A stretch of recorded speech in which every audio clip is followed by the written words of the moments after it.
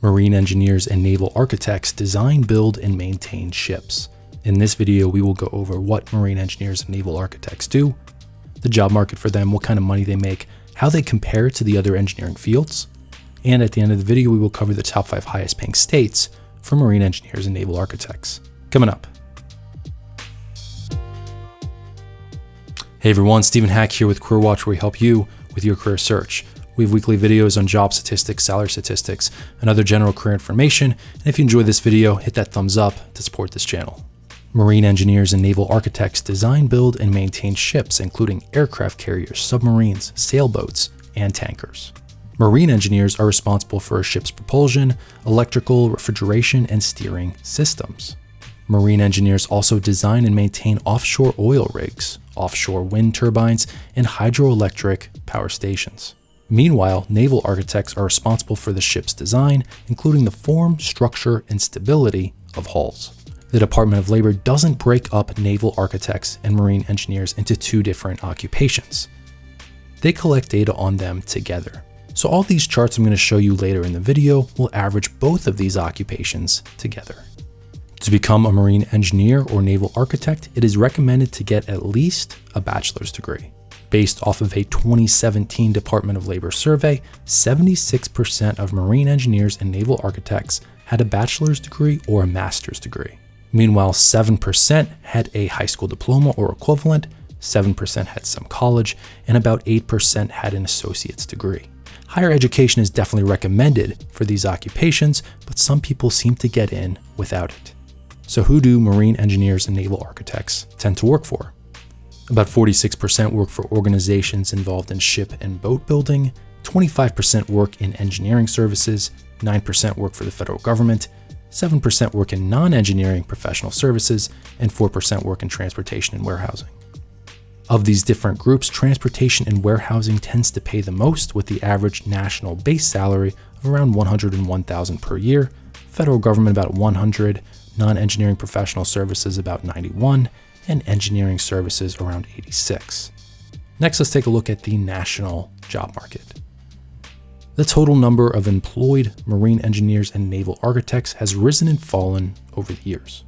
In 1999, the Department of Labor recorded 4,450 employed marine engineers and naval architects nationally. Marine engineers and naval architects were affected by the financial crisis, losing thousands of jobs from 2006 to 2011. Since 2011, the number of jobs has risen.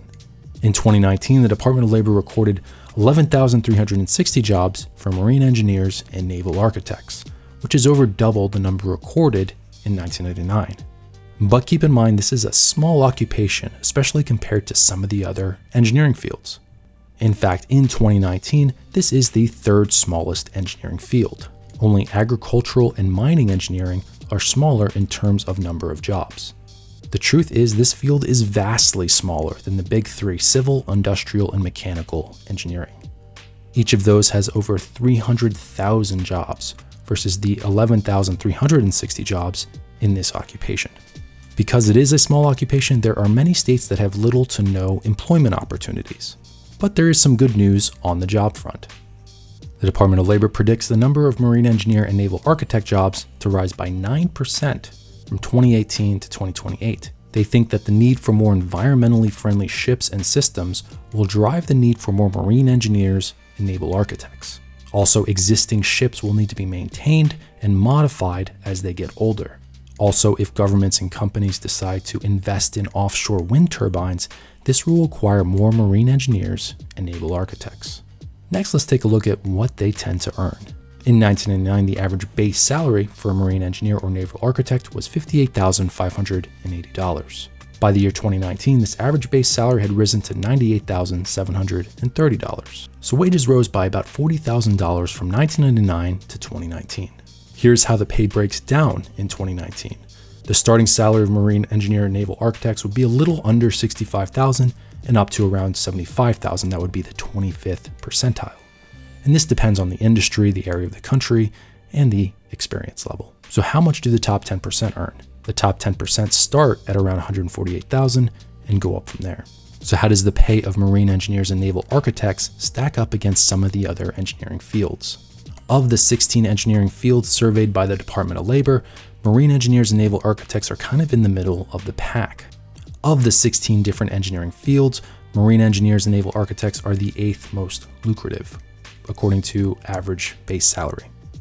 Next, let's take a look at the highest paying states for marine engineers and naval architects. The average base salary is around 99,000 per year, but certain states pay much more than this. So let's take a look. Number five on the list is known as the Old Line State or the Free State or Oyster State. It is located in the Northeast Corridor. It is the state of Maryland, where the average marine engineer or naval architect earns around 108,000 per year.